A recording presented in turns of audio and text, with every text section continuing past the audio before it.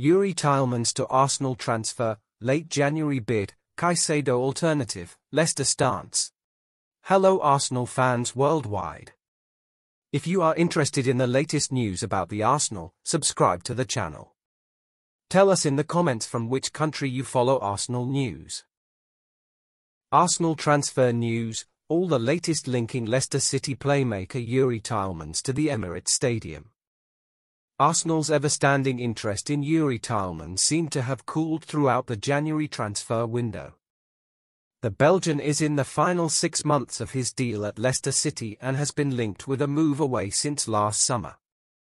Football.London reported in the summer the Gunners have already agreed personal terms with the 25-year-old but were willing to wait until next summer to sign Tielemans on a free transfer when his contract expires.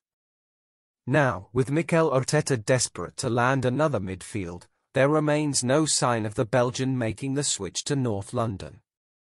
Whilst Edu Gaspar continues the hard work in attempting to lure Moises Caicedo from Brighton, Tielemans looks expected to remain at the King Power Stadium until the end of his deal.